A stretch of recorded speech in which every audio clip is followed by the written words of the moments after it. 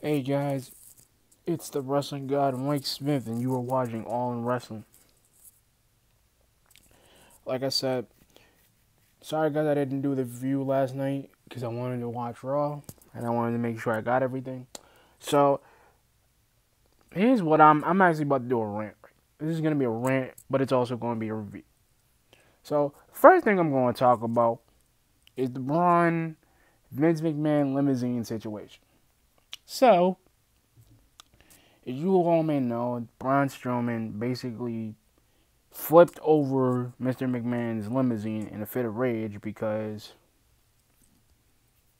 Vince McMahon said, oh, he doesn't get his number one contender spot, yada yada. So, usual, to get angry, he flipped it over. So now he's got to pay a hundred, hundred that like a hundred thousand dollar fine, and now he's out of the Royal Rumble as Brock, Brock Lesnar's main opponent.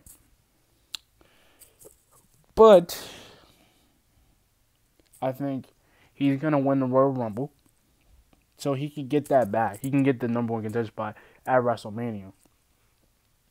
Because if Finn beats Brock, he can pretty much they, everybody can pretty much get a shot at the Universal title. I don't know why.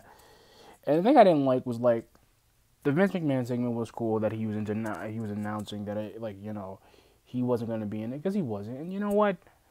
I don't hate it, but here's the thing.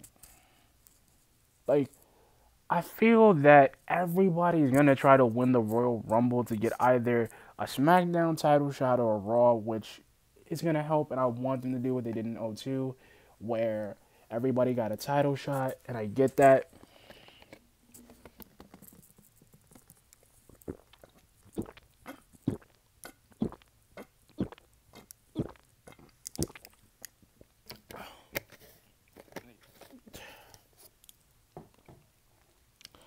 Get a title shot. And now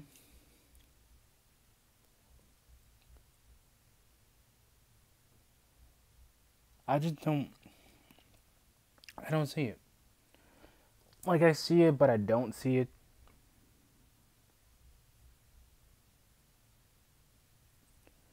Like I see it but I don't see it.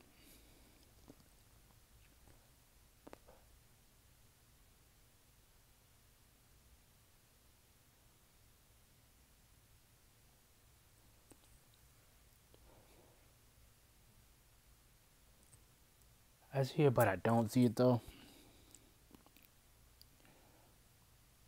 Because here's the thing. Like I see Brock I see Finn getting a universal title and winning it, but not against Brock. Like we never had that match and I think we're glad we're gonna do it now, but that's the thing I got I'm just a little mad about because it wasn't like it wasn't that like it was it was basically you Drew, Cena came out, Finn came out, Baron came out, and they all wanted a shot. And I get, like, I get the reasoning. I get the reasoning that I really do. I get it. I understand it. I get the reasoning.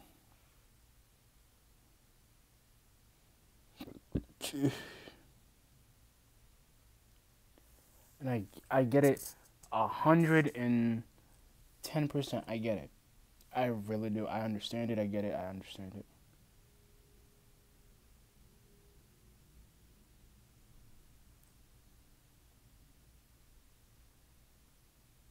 I do. And don't get me wrong like I don't get me wrong like I, it's not like I don't want to see Big Dude pass. But I'm a kind of uh not really liking the whole situation. And then, you know, and then the crazy part was, you know, the next thing I'm kind of a little mad about because I saw the tag match with like Ronda and and and and and and, and Sasha, which I liked it, but it was just dry. Then they did a promo, and the thing is, like, she's like, "I'm happy I get to face uh, Sasha Banks," which is really respectful. But she got mad because freaking she thought Ronda was gonna call her a loser. Like, I got that, and that kind of pissed me off.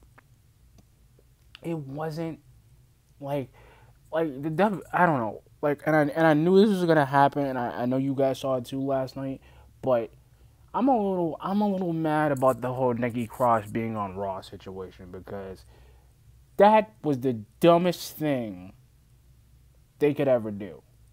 So we got one member of Sanity, who's the female member. Uh, it's a five man group, right? So in order to keep the faction, which is Sanity, to be a tag team staple, they're gonna put Nikki Cross on Raw. Like that's actually gonna make a difference. And the thing that kind of pissed me off wasn't even the fact that, like, what what what, pissed me off was the thing that Renee Young, Renee Young said. He's like, oh, she can be the twisted sister of Raw. Really? Of Monday Night Raw? No. She's SmackDown. Stay like and I and now I get it. Now I get why Lacey Evans was the, the call up. Because the thing is, they couldn't figure out what to do with Lars Sullivan because he walked out. And the joke is now, like it said yesterday, like what is going on, man? Like then you take you, you got you got Nikki Cross, you got EC3. So pretty much EC3 basically said, "Oh, I'm gonna be on Raw because of Mr. McMahon. But there's a problem. The dude didn't make his debut. I saw him in the background as knocking on the door, and then uh, I out of Otis Dozovic, which really you're gonna put heavy machinery on Raw as well? What? Are, are, you kidding me? Oh, okay, you know what? And this is why I'm gonna sit here and think about this for a minute, and I'm pretty much gonna say it. I gotta have a room in here. Like I said, I'm pretty much gonna say this, but Otto Dozovic, the dude, the guy, the man.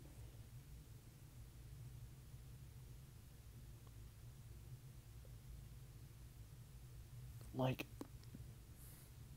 here's the thing that really pisses me off. Like, now, I don't know if Heavy Machinery's on Raw because out of those, but I didn't see the other dude, so I'm pretty sure they're going to SmackDown. That was just just, just to smite. That's just to make people think he was going to Raw. But like I said, I see it, but I just I don't know.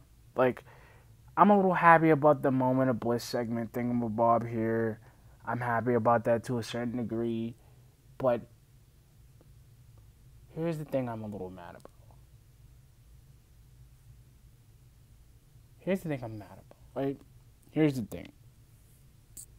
They want so many people. And that's what I was saying last night. That they have so many guys to give talent to on that fucking roster. And they have systematically, systematically have just ignored, ignored, ignored, ignored, ignored. And ignored, like, and ignored like the people. And this is what I'm talking about. The universe doesn't even play a factor in it because the joke is so like, and this is what I I hate. So you're gonna have one, two, you're gonna have maybe 20, 30 people that are main event guys that are players in the game. You're gonna have 15, maybe 16 people the tag team division. One, two people as the women's division, if they even can build it up as much as they can, because Raw's got so many talent. But here's the joke. So the people that like I'm, I'm, I'm gonna be honest with you, and I'm gonna hit you guys with something, right? Remember when like Raw was barely even trying to scrape the the women's division, when it wasn't even trying to build it. And this was like mid. Remember, like when Eric Bischoff didn't even care about the women's division. Like he just kind of just made the main event talent. He he worked on the girls, but they were more concerned about Playboy and being on magazines and being eye candy, which to a point, and I and I kind of hated that era. But now, like, what? Like, this is the point I don't understand. So, if Lacey Evans goes to Raw, they're just getting rid of them to put more talent in NXT, which I get. But I want people to be on main roster, but people that deserve to be on Raw or either SmackDown.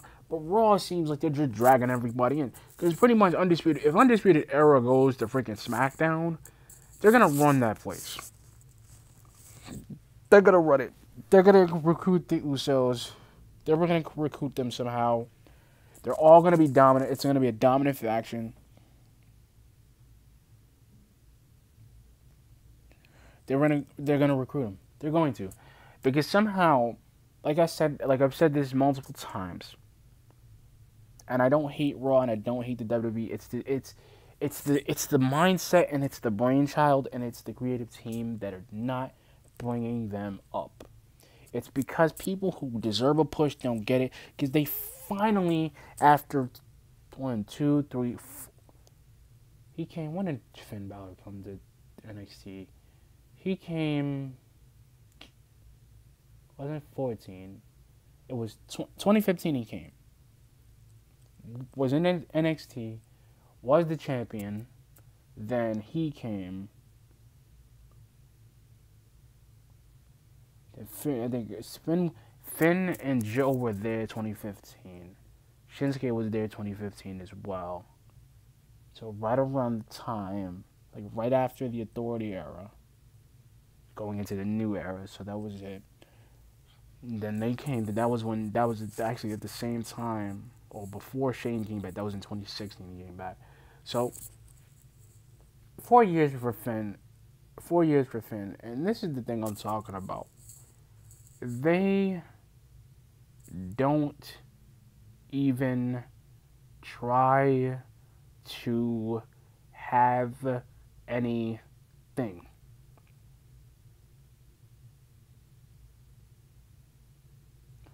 And because he is a good guy, they're going to use him.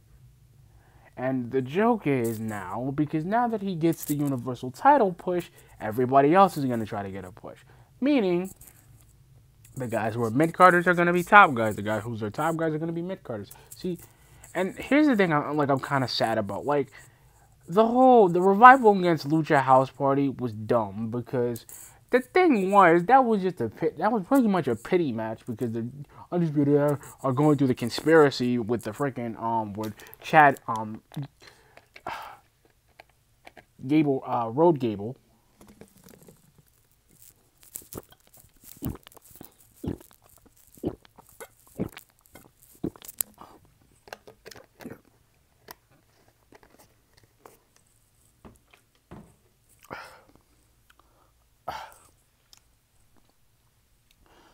that's my point. I don't feel anything towards them. I don't hate them. I really, really don't hate them. I don't hate their ideas. I don't hate their mindset. But it was a pity thing.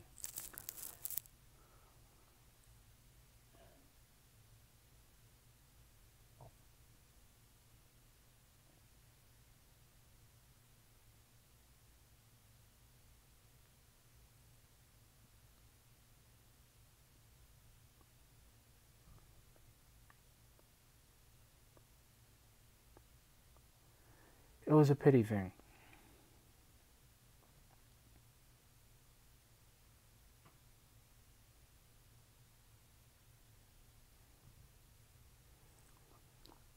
It was a pity thing. It was a pity thing. It was a pity thing. And I'm and like, and like I said, guys, this is what I'm talking about. They are really just trying to do what they need to do.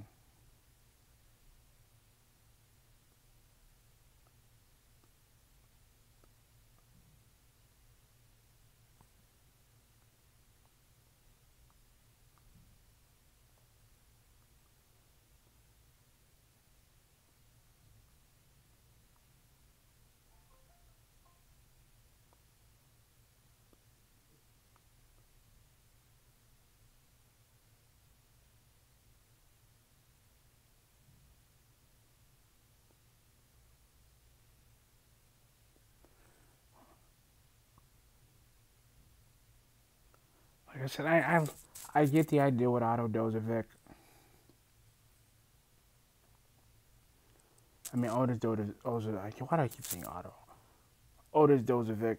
Like, I get it to a fault, and it's not like I don't understand. But I get it, though. Like, like Otis Dozovic is not the bad guy in the world.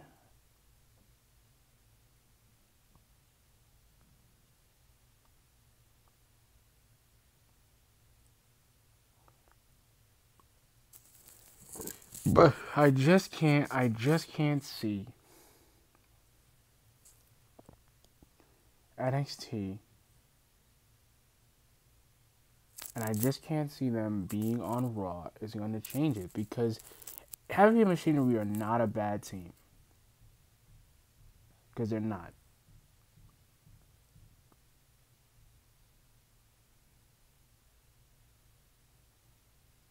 It's just like, see, Trevor Lee is actually coming to the WWE because he signed. I announced when he actually signed a contract with them. That means he's coming. That means he's coming. That means Sami Callihan could come, which are the Forgotten Sons. They're, they're gonna show up somehow, somewhere in the mix. They're gonna show up, and this is what I mean. See, you got this big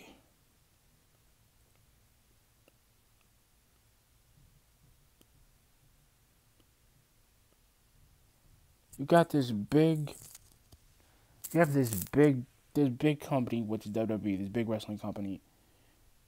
And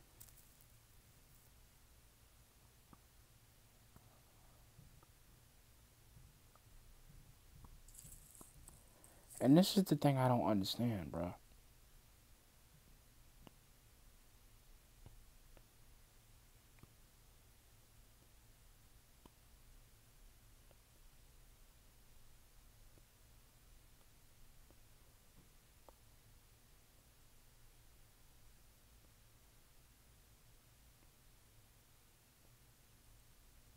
This is what I don't understand. See,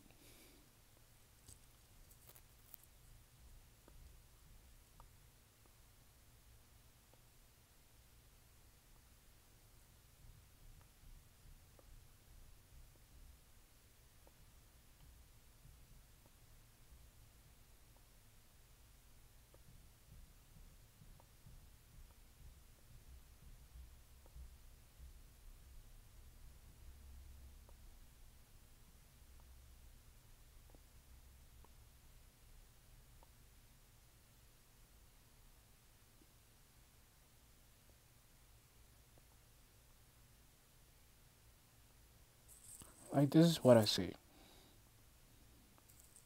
Otto Dozovic, heavy machinery one like heavy machinery them being on Raw doesn't make any sense. They don't them being on Raw has no idea. None.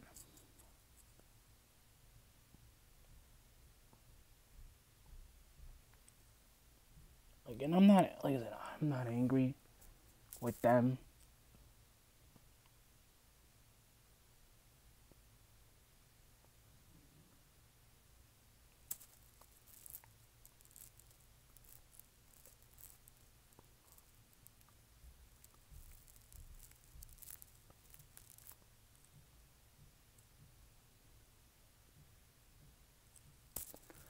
Said, I don't believe it. But then, they, like I said, I just, like, I'm, there's so many things that Raw is doing wrong, and they're just putting this box of crap and turning it into gold and thinking it's actually gonna work, but it's still the same.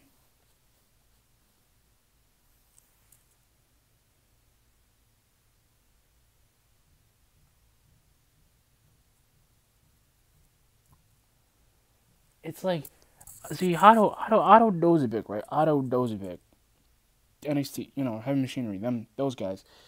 Like, I had a dream. I already knew they were gonna come up sooner or later because they are a dominating tag team, just like Angelo Dawkins, just like the Street Profits, everybody. And this is where I kind of feel like they just said fuck it and they kind of just threw it in there.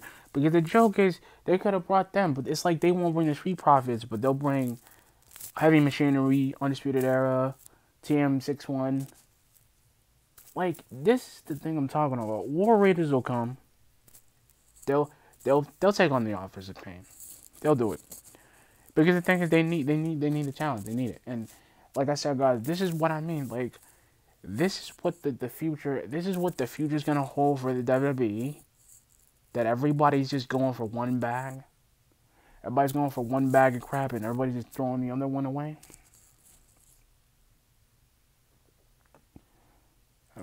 like I said, this is why, like, and this is what I think. And right now, Raw is doing it wrong. Like I said, Raw was Raw was amazing, but the call ups were just a waste. And like I said, guys, that's all I had for today. But I am gonna do a SmackDown review tonight. After I'm done with SmackDown, I'll probably do it tomorrow. Um, like I said, guys, keep viewing the videos. Thank you. We are at ni- we are at 19 views. Thank you. Like I said, if you guys like the video, hit that like button, hit that subscribe button, subscribe to the channel. And later. Peace.